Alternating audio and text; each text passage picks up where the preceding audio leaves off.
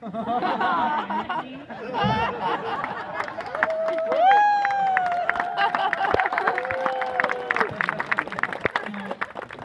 home to me. You are my love.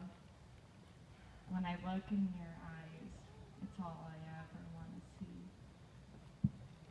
Please be with me the rest of your life. I love you.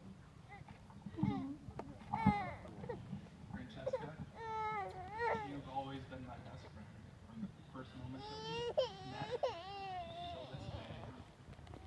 I promise we'll meet again. I will be with you until I die. Until you die, I will still be with you. it is weird. but but I, I love you so much and you are the most important thing to me. You, you've made me such a wonderful person. You've made me such a, a someone who loves life and loves to share life with you. I couldn't imagine spending it without you. So I want you to spend the rest of your life with me, and I love you so much.